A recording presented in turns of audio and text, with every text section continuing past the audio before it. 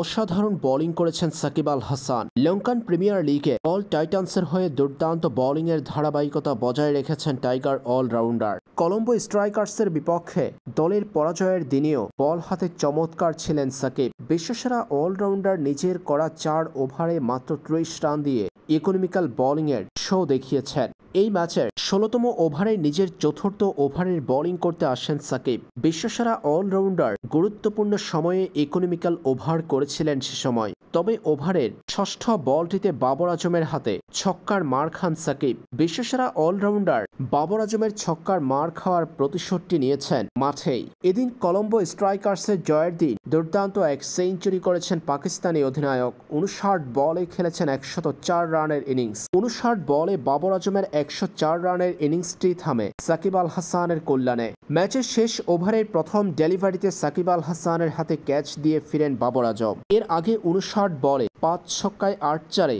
century পূর্ণ করেছেন বাবর